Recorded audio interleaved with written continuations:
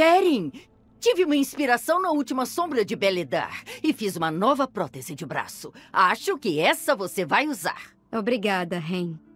Mas só preciso do escudo que você fez.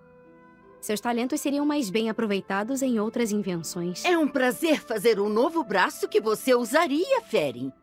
Você me falou do desconforto e de como isso afetou sua mobilidade. Então eu pensei. Hey, não. Eu vivo com minha deficiência desde criança.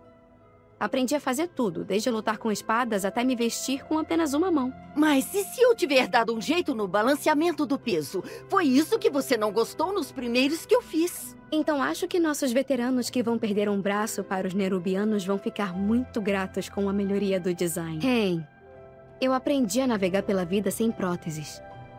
Não quero ter que reaprender tudo com ela. Mas se você quiser melhorar algo que eu já tenho, um amortecedor melhor para o escudo seria uma bênção da chama. Os nerubianos estão ficando maiores. E isso coloca todo o peso no ombro. Ah, é? Hum, essa vai ser difícil. Vou criar um esboço com algumas ideias e fazer umas medições. Acho que vai ser um projeto interessante. Obrigada, Ferin. Continue assim. Todos da linha de frente gostaram dos aprimoramentos do novo conjunto.